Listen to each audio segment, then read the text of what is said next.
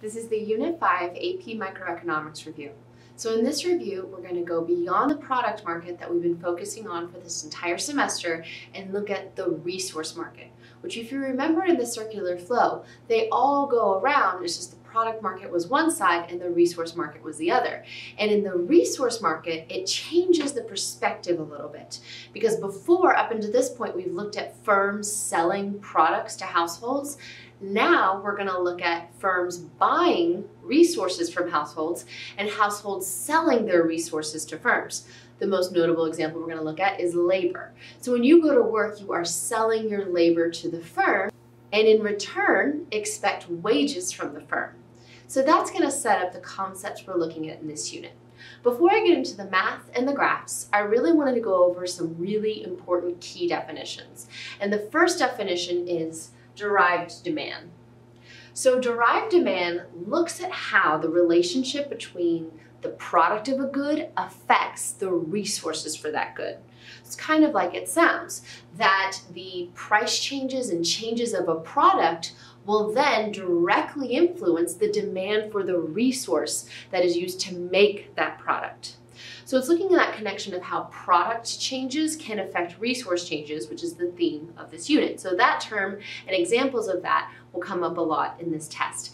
And we see, I have an example for you, the rise in demand for mobile phones and other mobile devices has led to a strong rise in demand for lithium, which is a resource used to make batteries in the phones. So it shows how the change in the product ends up affecting the change for the demand for the resource. The next term I want to go over is marginal product of labor. Now you see here I have a lot of abbreviations listed and there are a lot of abbreviations that are new and different and need to be known for this test. We're going to go through this. The marginal product of labor is a definition that looks at how much each additional unit of labor is bringing in, how much each worker is contributing. This we looked at a long time ago when we looked at the graph called the production function. It looked at by adding workers, how much is each worker contributing. And it was a graph that the line increased but at a decreasing rate and began to plateau, which illustrated the really important term diminishing marginal product. And that is something we use in the product market as well, and it applies in the labor market. The idea is as we hire additional units of labor, the workers will each start to contribute a smaller and smaller amount. The next term is the marginal revenue product. This looks at how much revenue each additional worker brings in. So in that way, it is the change in total revenue over the change in resource quantity. And when I say resource quantity in this class, we're gonna be looking almost entirely at labor as the resource. So with each additional worker, what is the change in total revenue? And we're gonna use that as well to determine how many workers we should hire. And the final thing we look at when determining workers is the marginal resource cost, MRC for short. Now it's kind of confusing because MRP and MRC sound very, very similar, but the R's are different. It's revenue for marginal revenue product and resource for marginal resource cost. If you remember back when we were determining profit maximization in many of the units in this class, we looked at marginal cost and marginal benefit and when they equaled each other, that determined the profit maximizing quantity. It's the same concept with marginal revenue product and marginal resource cost. Marginal revenue product is almost the same exact idea as marginal benefit. Because think of the firm, the amount each worker brings in is going to be the benefit of hiring that worker and the marginal cost is the marginal resource cost. So those two terms are very similar to the marginal benefit equaling marginal cost when we looked at the product market. And with that, we are going to use those two ideas to determine how many workers should be hired. And I'm going to go into that more when we look at the labor market graph. Now, two important formulas in this unit. The least cost rule, which if you remember the utility maximization rule from unit two, they are extremely similar and the same premise. Utility maximization was looking at how much of a good should a consumer consume and how much of another good should that consumer consume. And you're comparing your utility over price to determine that. Now we're looking at how much resources a firm should hire. And the two types of resources we're gonna be looking at is labor and capital. So this formula will help a firm decide how many workers and how much capital they should employ in their business. And the formula also almost looks exactly like the utility maximization formula. We have the marginal product of labor over the price of labor, and we want that to be equal to the marginal product of capital over the price of capital. So this is showing at that point where they're equal, they're giving equal benefit to the firm.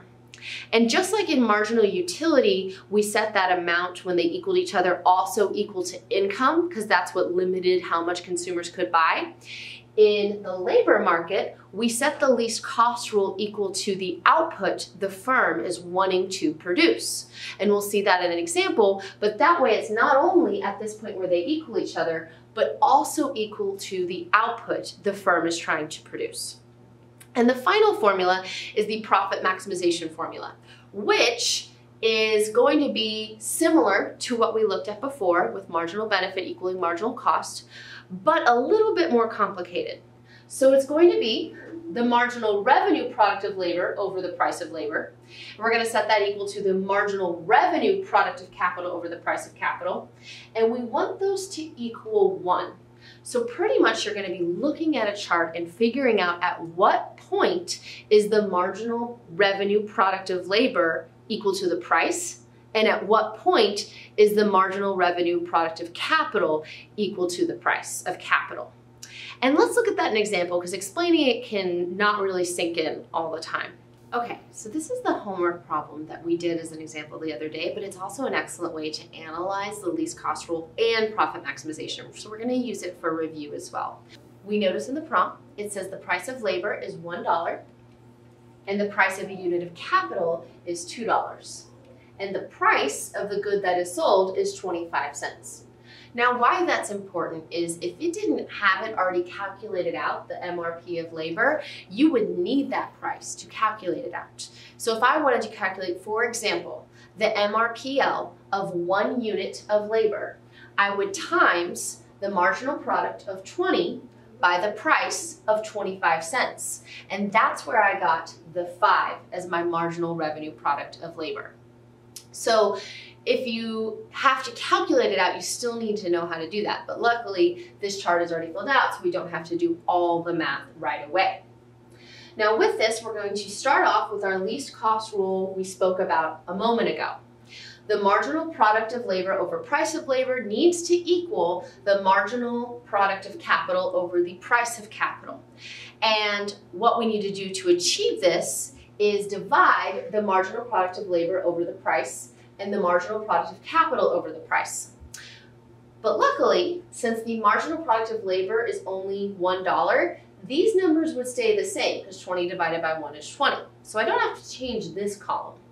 However, I do need to change my marginal product of capital because the price of capital is $2. So really quickly, I'm going to divide each of these by the price to really set up the least cost rule so I can analyze it. So 20 divided by 2 is 10, then 9, then 8, then 6, 4, 3, 2. Now I'm going to follow the least cost rule. I need to find the points where the marginal product of labor over price equals the marginal product of capital over price. And there are several places where this happens. The key of knowing which one to choose is when it also equals an output of 120 units. So has to meet all of those qualifications to really match the least cost rule. So we notice the first scenario where they equal each other is at 10 and 10. However, at 10, at 4 units of labor, 58 is made, and at 1 unit of capital, where it's also 10, 20 units are made. That doesn't add up to equal 120, so that can't be the combination we're looking for. So on the next one, they equal each other is at 5 units of labor and at 3 units of capital, which then we have 66 plus 54. That does equal 120 units, and it follows the least cost rule. So that is going to be the least cost combination I'm looking for in this scenario. So five units of labor and three units of capital. So it meets both the formula and it equals the output the firm is looking to produce. Now we're going to do profit maximization, and I've included the formula for that as well. Which remember the trick of that is finding the place where the MRPL equals to the price of labor and where the MRPC equals to the price of capital because you want them both to equal one. So it's not hard once you understand how the formula works. So at the point where PL equals one and MRPL equals one, it would be at six units of labor and the point where the price of capital is 2 and the MRPC is 2 would be at 5 units of capital. So that would be my profit maximizing combination. So that's how you do the formulas in a practical situation. The next thing I want to go over is the graph that goes with the labor market. And the most common graph you'll see is the graph in perfect competition in the labor market. In perfect competition in the product market, we had two side-by-side -side graphs, one for the market and one for the firm. Perfect competition in the labor market does the same thing. And for the same reasons. Perfect competition in the product market looked at how firms and consumers were price takers of a product. In the labor market, there are so many workers, there's so many options that firms and workers are wage takers. Different than the market graph in a product market where it was the supply of the product the producers are trying to sell and the demand for the product the consumers want to buy. Now we're looking at the supply and demand of labor, which as I said at the beginning, the households are the sellers of labor. So now the households are the supply line. It's dealing with the amount of labor available, the supply of workers, which comes from the households. Versus the de demand line is now the demand for labor line, which is more from the firm's perspective. This is how much labor the firm needs to hire. So it's a different type of supply and demand because it's dealing with resources instead of products. And the equilibrium would be the equilibrium wage. And as I said, since we are wage takers in perfect competition, that'll end up equaling the marginal resource cost for the firm. The wage is what they have to pay their workers. But we still have a downward sloping demand line. And also this demand line for the firm will end up equaling the marginal revenue product, which will be significant a, for a firm deciding how much labor it should hire. Now we see here, I've already marked it, that the firm should hire up to this point right here where the two lines intersect. The reason why, if this line equals the marginal revenue product, it shows also how much each worker brings in. What we want is for the marginal revenue product to equal the marginal resource costs that we have right here. Just like, again, as I said earlier, where marginal benefit equals marginal cost in a product market graph to determine the profit maximizing quantity. So now I'm going to find the point where they equal each other, which is where the two lines intersect. And the reason why, if a firm technically could hire any quantity they wanted along this line, if they hired a worker up here and that worker's MRP was $10, they were bringing in $10, but the equilibrium wage is $5, that means this worker, this one worker, is bringing in more in revenue than they cost to be there.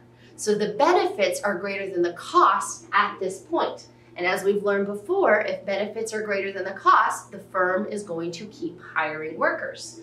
So they're going to go down and down to the point where the MRP equals the MRC. So the wage the worker is being paid is equal to the revenue the worker is bringing in. Because after that point, if they went down here and this worker, five workers, let's say, we'll say that's three at equilibrium, if five workers were only bringing in $3 in revenue apiece, then we see the firm is receiving less than they're paying their workers which means their costs are greater than their benefit, and they don't want to hire at that point. So they're going to hire at the point of $5 because that is the point where the cost of the worker, aka the wage, is equal to the amount the worker is bringing in. And what we're going to see is things in the product market end up affecting the supply and demand for the resource market. And there are several things that affect the demand for labor. Three things that cause changes in the demand for labor are increases in demand, which you may also see as increases in product price in the product market, which makes sense. If there's an increase in the demand for a product and equilibrium price goes up, there's also going to be an increase in demand for the labor to make, to, to make that product. The second reason is changes in productivity, where the more productive a worker is, the better quality labor they're providing. And the third is changes in the price of other resources, so like substitute resources and complementary resources. These three things will cause the demand for labor to increase. Now the supply of labor is a little different because again, this is from the worker's perspective, their willingness to give up their time to work. So things that affect the supply of labor are workers entering and exiting the industry, in terms of are they willing to work at that job at that wage, or they're more or less immigration could be an example of more workers entering into the industry. And the second reason for the supply to change is changes in attitudes about work. Are people willing to work in that industry at that wage? The last thing we're going to talk about isn't asked about as much on the AP exam, but you do need to know that just like in the product market, the labor market has imperfect competition as well, where it's not perfect wage takers like we saw a moment ago. And the format we're going to look at for this is the monopsony market where it's kind of like a monopoly, but the inverse. A monopoly in the product market was one firm and many consumers. In the labor market, it's one firm hiring workers and many workers available. So because of this, that one firm will be a wage maker. They will get to decide how much they pay their workers versus in perfect competition when they were wage takers. And so because of this, it's not, the supply line is not perfectly elastic. And like how in a monopoly demand ended up separating from marginal revenue, in a monopsony, the supply ends up separating from marginal resource costs because as I hire more workers at a higher wage, I have to pay all my previous workers that higher wage as well. So what you're gonna have to most likely do with this is look at how in an imperfectly competitive market, firms end up hiring less workers and paying them a lower wage. So it's not ideal, it's not socially optimal like perfect competition. So in perfect competition, a firm would hire at this point where supply equals demand. However, now that marginal resource cost has separated from the supply, in a monopsony market, the firm will hire at this quantity right here, a lower quantity than perfect competition. And also, because they're wage makers, the monopsony will end up paying their workers this low wage compared to in perfect competition when they paid them the wage right there. So this graph illustrates that when there's only one firm hiring labor, the workers end up getting hired less and paid less, illustrating it's an imperfect labor market. And that concludes the Unit 5 AP Microeconomics review.